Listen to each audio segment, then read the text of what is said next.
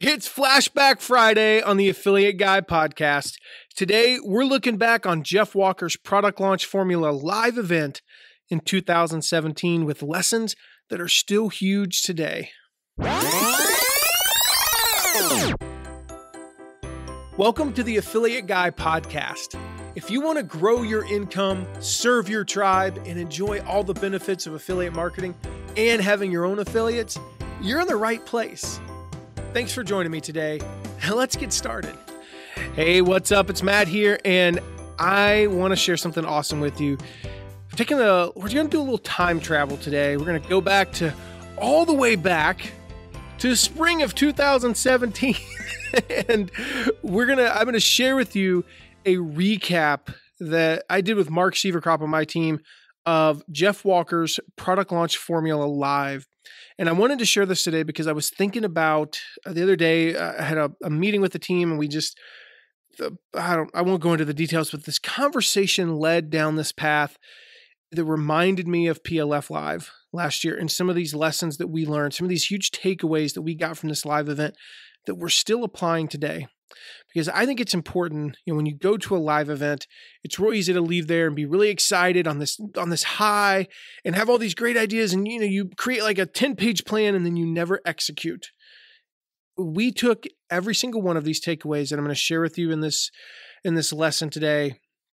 There's a little bit of background noise. You know, we did this live uh, just outside the the actual event, like in the you walk out the doors of the event and turn left and like 20 feet down. That's where we're doing it so there's a little bit of background noise. We're, we have applied every single one of these lessons. Every single one of these lessons has been worth tens or hundreds of thousands of dollars to our business. So we're getting results as a result of PLF Live, and we're really excited about that. So I wanted to share these lessons with you. And uh, if you're interested in Jeff Walker's PLF, his product launch formula, I cannot stress enough how much uh, it changed our lives, you know, in our business just go to mattmcwilliams.com forward slash PLF. It's not even open yet, but you can get put on the waiting list. mattmcwilliams.com forward slash PLF, and we'll make sure to tell you when that's available. But let's do a little time travel and go all the way back to spring of 2017. Hey, it's Matt here with Mark Sieverkropp, and we are live from PLF Live and wanted to shoot this quick video while it's fresh on our minds. Want to share some of our biggest takeaways. You know, we're on this like Jeff talks about. We're on this high right now, and I think it's important for posterity and uh, and for us, quite frankly, to share these takeaways with you guys because I think when we share these, um, not only is it a record for me to kind of look back, for Mark to look back, for um, but it also, you know, you guys learn from it. But yeah, it's it's kind of a, I feel like it holds us accountable to say, okay, here are our biggest takeaways, and then honestly, what are we doing with those? You know, like I can share these big takeaways and say, well, these are such good quotes, and you know, I really learned all this cool stuff, and then six months later, I've done nothing with them, and I know I'm guilty of doing that. I know you might be guilty of doing that as well. But wanted to share some of these takeaways uh, before we come down, before we get on a plane and deal with TSA and go through all that rigmarole. And uh, yeah, so Mark, first of all, I mean, like, just overall, what do you think of PLF Live? Well, first off, I thought your paper here said veterinarian, but it says key takeaways. So that's a little different. How do um, you get over, how do you get veterinarian from key takeaways? V, not a K. Anyways, overall, um, it was really good. I, you know, we were just. Uh, I feel like I'm name dropping. It was like we were just talking to John Walker about how totally different than any other conference. Like we ended dancing, like that's what we were doing. And so like and that was one of the things that I really liked was the fact that that Jeff was big on the way you feel physically changes the way that you interact and the way that you listen. And I you know, we feel that. It's like after lunch after about 45 minutes it was like uh, and so we'd be jumping up and down and dancing and clapping and that made a huge difference in how much I was able to learn. And so I think that was one of the big things that yeah. As far as an overall thing, maybe not something I learned, but um, that made a big difference for me during this. Yeah, I know for me, um, there's a quote here from Mastin Kipp. He says, The energy you bring to your body is the energy you bring to your business and your life. And uh, I know that was kind of a call to me to remember that, like, I think it's one thing to say, I'm successful in business or or whatnot, and then as the menu asking us to get on the Sheraton Wi-Fi pops up. Um, and I think it's one thing to say like I'm successful in business, and you're not taking care of your health.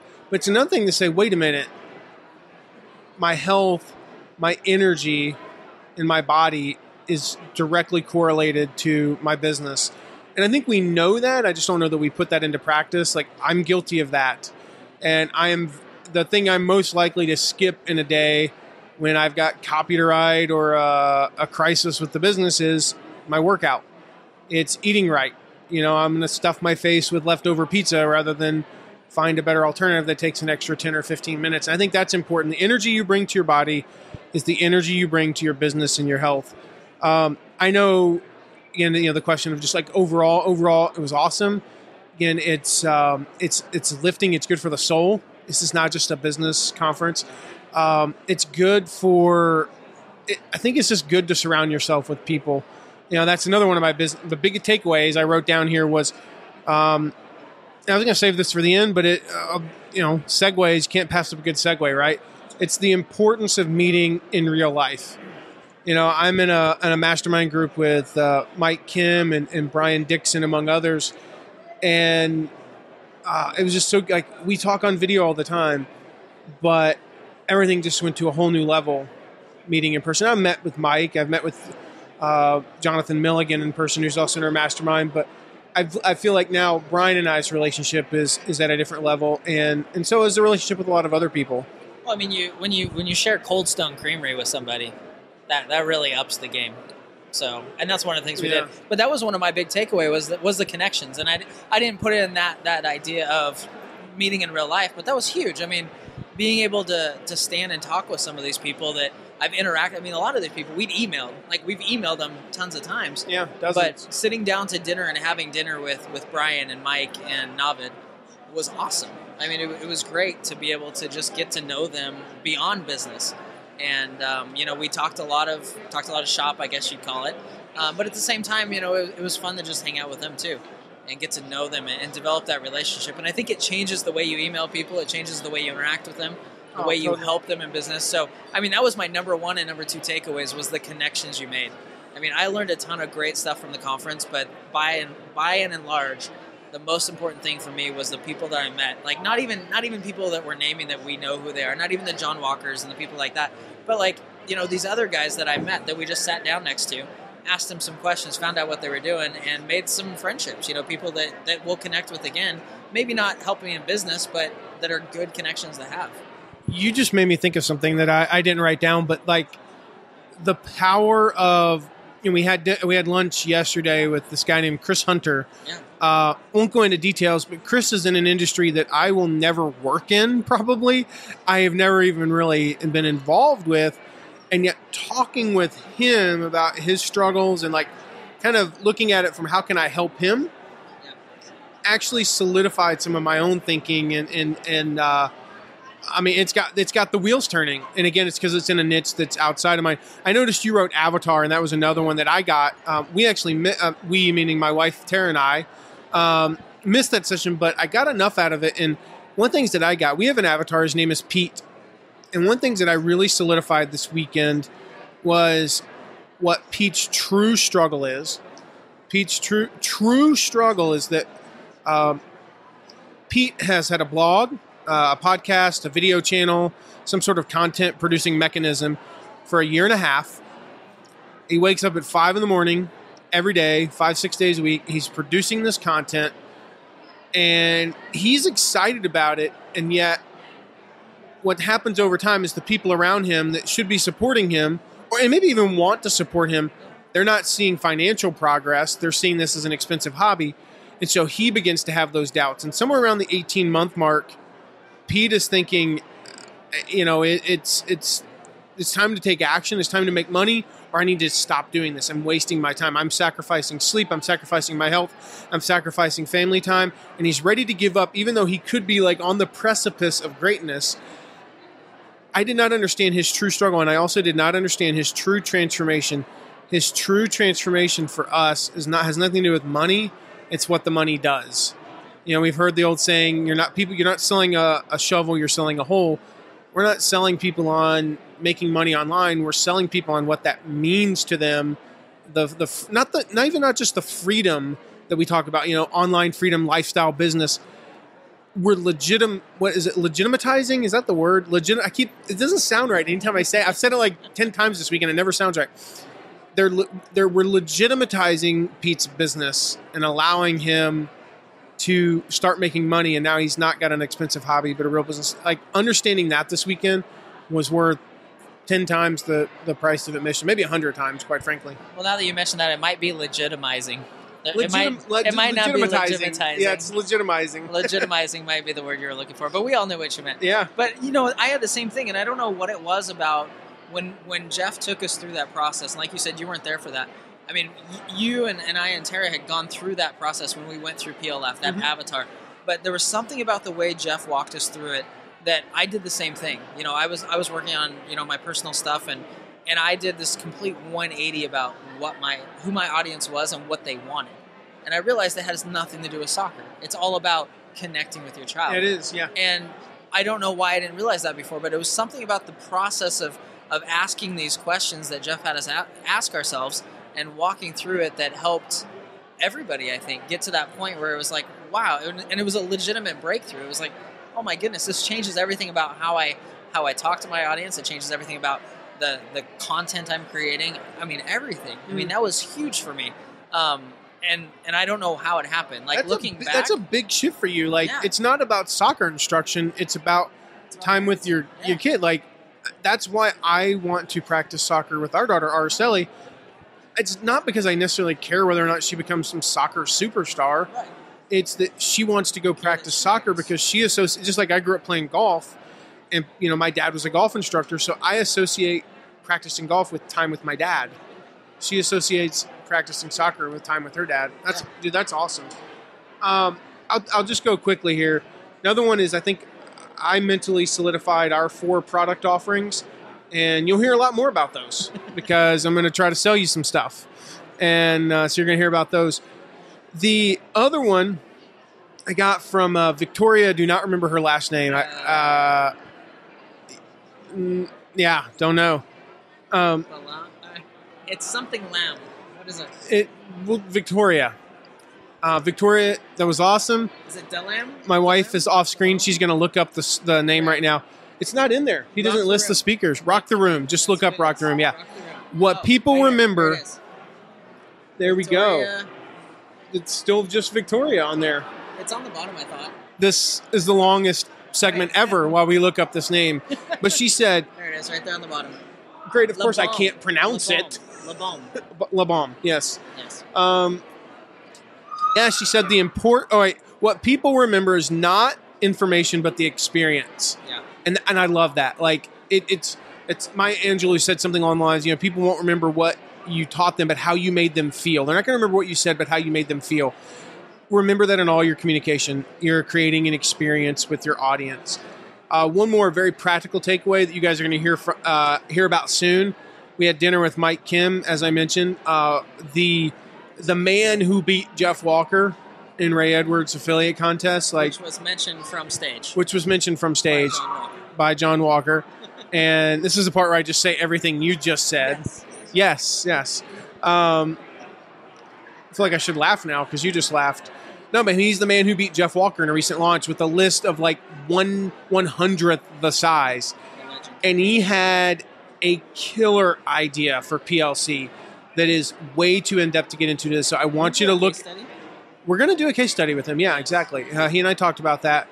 We're going to go take a deep dive into his into his uh, PLC strategy with this launch. Like I'm telling you, we're talking four thousand people on his list versus Jeff Walker's list. Jeff Walker doesn't lose affiliate contests, and Mike beat him. And it was, I mean, even if Mike hadn't beat him, if he'd finished second, it was huge what he did, Right. and it's all because of this strategy.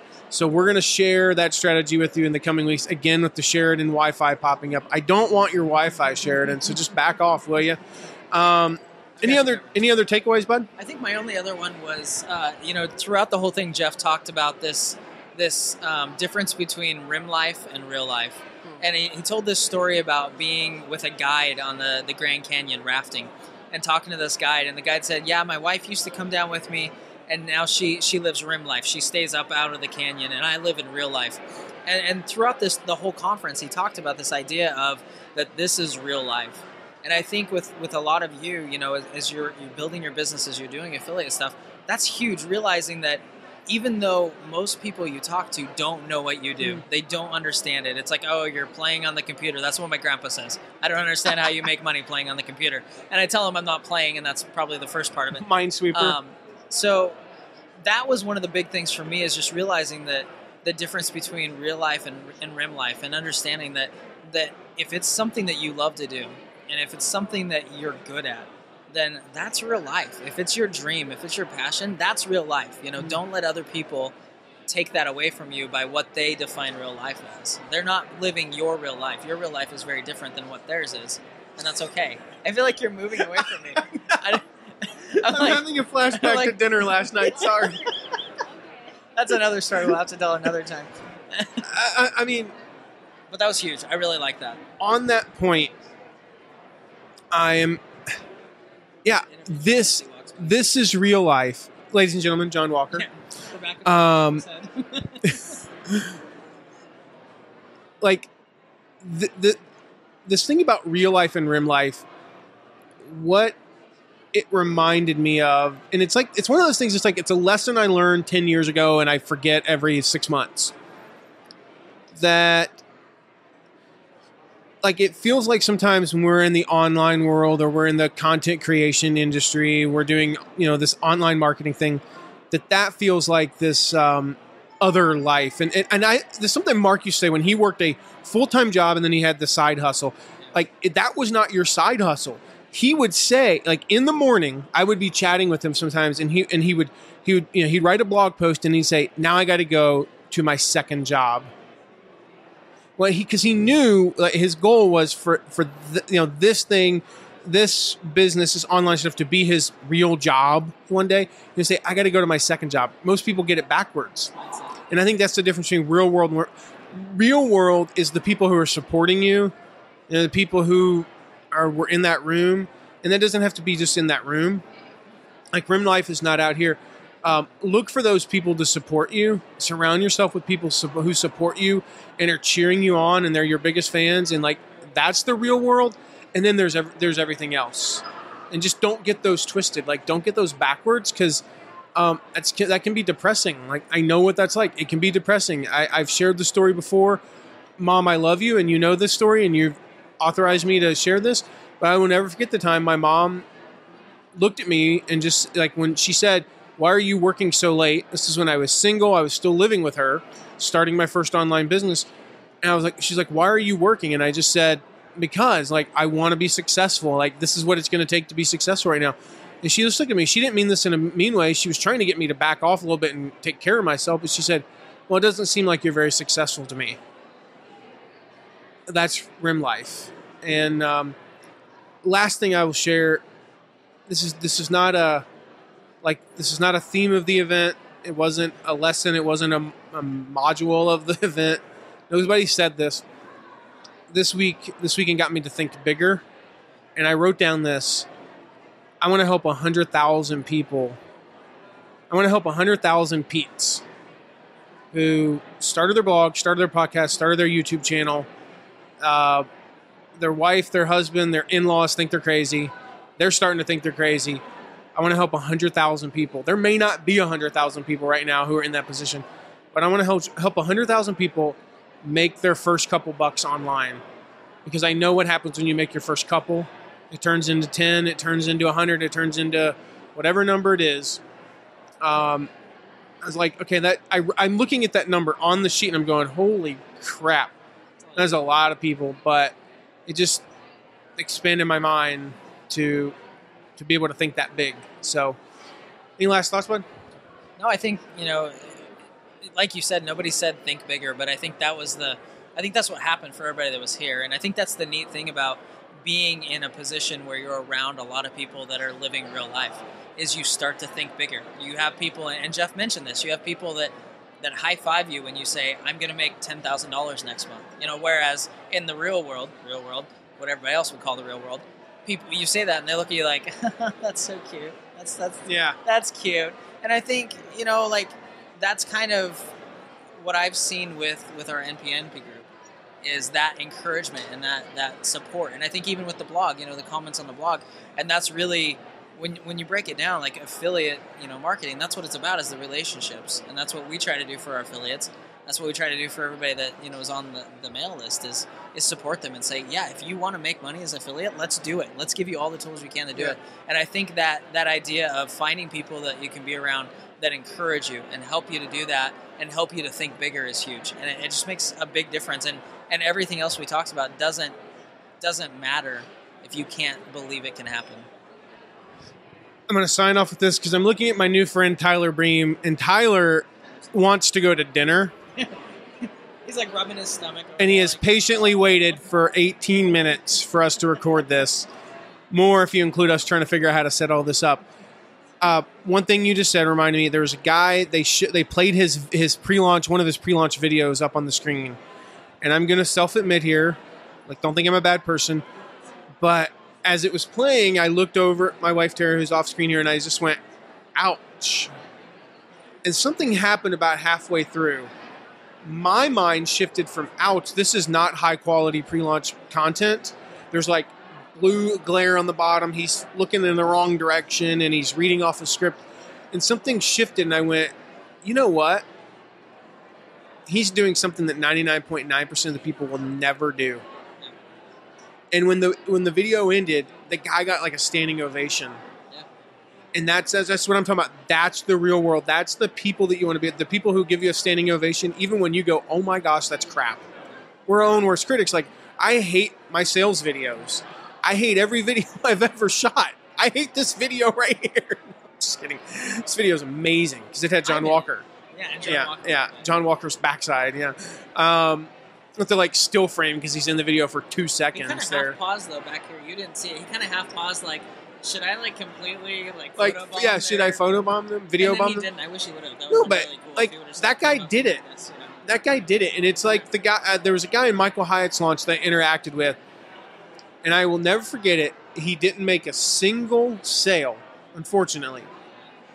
He had like 37 opt-ins, no sale, and he emailed me afterwards. He's like, basically, should I stop doing this? Should I quit? And I was like, no, because you did it. Like, congratulations, you did it. We have a, a, a lady, you know who I'm talking about. I'm not going to mention her name because I don't have permission to. Uh, in a recent launch, doesn't even have a list.